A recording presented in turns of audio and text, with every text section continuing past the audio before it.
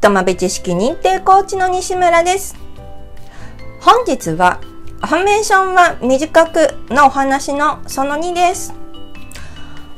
私、朝の勉強会でアファメーションの書き方教室やってます。その時にと質問が出ます。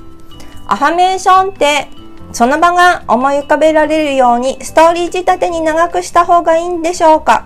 答えは NO です。アファメーションは短く書いてください。ということです。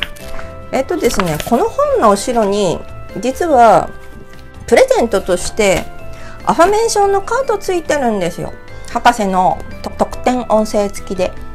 で、このアファメーションすごくどういう精神状態とかどういう哲学的なものを求めるかとかまあなんかなんかそういう精神世界系のアファメーションとかぶっ飛んだゴールとかっていう観点ですごくいいアファメーション出てます。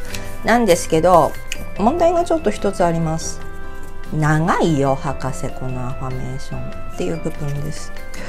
実際に読んでビジュアル化するってなったらシンプルに短い方がいいんですよ。なので1行か2行にしてください。